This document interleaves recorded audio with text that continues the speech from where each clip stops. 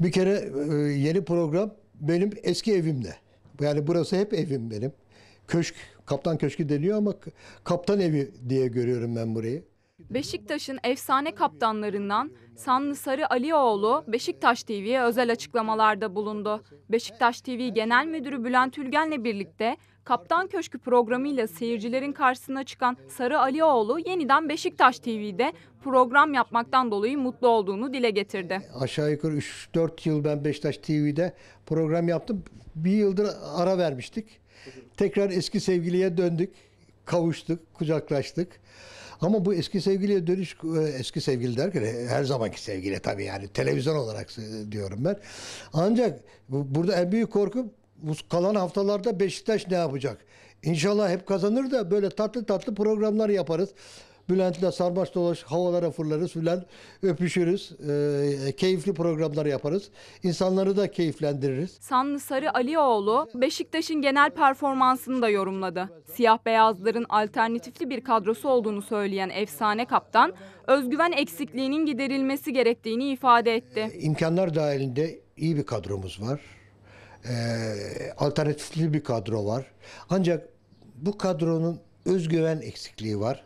Ve bir de büyük maçlarda e, bir korku var. E, o korkuyu bir türlü üzerlerinden atamıyorlar. Örneğin Galatasaray ile oynanılan maçta e, aldığımız yenilgi o korkunun sonucu. Fenerbahçe iki Fenerbahçe maçı. Yani yazık günah ki onlar 6 puanlık e, maçlar. Yani yenilmeyip yensen şu anda iş bitmişti o iki maçta. Son Fenerbahçe'ye yenilmesen bile şu anda Fenerbahçe ile aradaki puan var. Berabere bitseydi yani maç 4 puan olacaktı. Yani biraz özgüven daha pekişmesi e, gerekiyor. Beşiktaş'ın derbilerde hücuma yönelik oynaması gerektiğini söyleyen Sanlı Sarı Alioğlu, zorlu atmosferleri bir futbolcu gözüyle değerlendirdi. Ürkek oynuyor Beşiktaş derbilerde, büyük maçlarda. Aman sanki gol yemeyeyim önce düşünce sahip. Şimdi soruyorum. Trabzon mu daha güçlü bir kadroya sahip Beşiktaş mı? Beşiktaş kesinlikle Beşiktaş. O zaman sen güçlü bir kadroya sahipsen gol için oynayacaksın. Ve bu- bunu e, Trabzon'da hem Trabzonlu taraftarlara, tribünlere göstereceksin hem de rakip oyunculara. Rakip oyuncular ve Trabzonlu e, taraftarlar diyecekler ki ya bu Beşiktaş buraya kazanmaya gelmiş. Baksana nasıl saldırıyorlar, nasıl ısırıyorlar. 3 puan için varlarını yoklarını ortaya koyuyorlar. Düşüncesi e, onların yüreklerine girecek. Korkuyu onlar yaşayacak. Sen yaşamayacaksın. E, bu şekilde düşünmek lazım. Artı e, teknik direktör takım yaparken e, takımına bir takım mesajlar verir. O futbolcular kadroya bakarlar, ilk 11'e bakarlar. Ha derler tamam benim e, teknik direktörüm benden e, bu maçta galibiyet bekliyor. Benden bu maçta aman yenilmeyeyim. İlk önce e, durumu idare edeyim e, şeklinde bir be- beklentisi var diye değerlendirirler.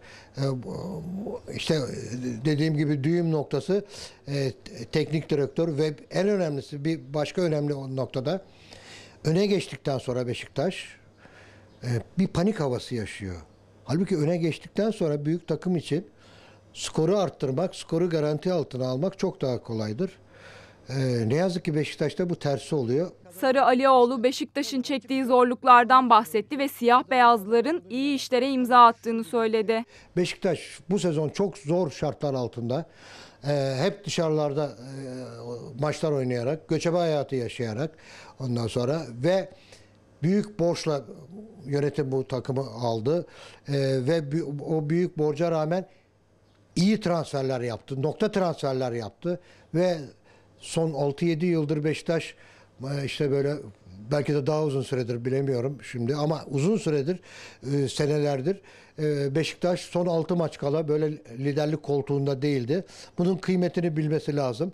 Yönetim iyi işler yaptı. E, takım iyi işler yaptı ama bunun devamı gelmezse hiçbir işe de yaramayacak. Efsane kaptan son haftalarda Beşiktaş'ı izlemesi gereken yolu da anlattı. Şimdi fikstüre falan bakmayacaksın. Ya ben Beşiktaş'ım diyeceksin. Çıkacaksın. Galatasaray'ın Fenerbahçe'nin maçlarına da bakmayacaksın Beşiktaşlı olarak. Ben çıkacağım maçlarımın hepsini kazanacağım diyeceksin. Kazanmak için oynayacağım diyeceksin.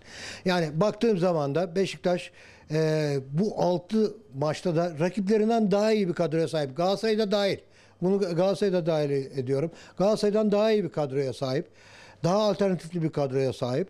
Ee, o zaman çıkıp kazanacağım diye düşüneceksin. Bakmayacaksın. Öyle matematik hesapları da yapmayacaksın. İşte ben şunu yenersem o bununla beraber kalırsa falan. Bu hesaplara hiç girmeden maç maç ve maç maç düşüneceksin. Ee, kazandıkça yoluna devam edeceksin. Ama e, her şeye karşı şunu söylüyorum. Beşiktaş sonuç ne olursa olsun altı maçın sonunda bu sezon e, yönetimiyle, teknik heyetiyle, futbolcusuyla alkışı hak etti.